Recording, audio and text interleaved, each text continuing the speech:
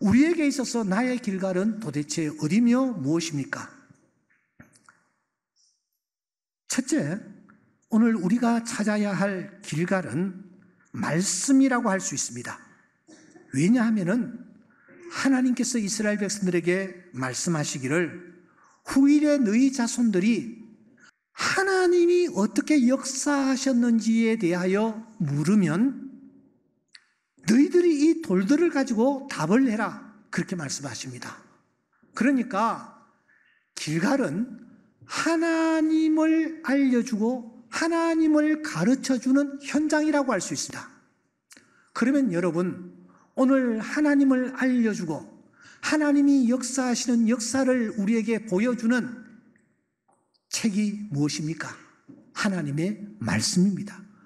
우리 모두가 이 하나님의 말씀 가까이로 다가가는 은혜가 있기를 소원합니다. 왜냐하면 이 하나님의 말씀 가까이 다가가는 것이 바로 길가를 찾는 것과 다를 바 없기 때문입니다. 여러분들은 일주일에 몇 번이나 길가린 하나님의 말씀 가까이로 다가가고 있습니까? 하나님의 말씀 이 길가를 여러분들은 몇 분이나 펴고 있습니까? 세상의 그 어떤 것보다 세상의 그 어떤 것을 소유하는 것보다 더 소중하고 가치 있고 우리에게 귀한 것이 하나님의 말씀입니다. 이 말씀을 가까이 하는 은혜가 있을 수 있기를 주의 이름으로 축원합니다.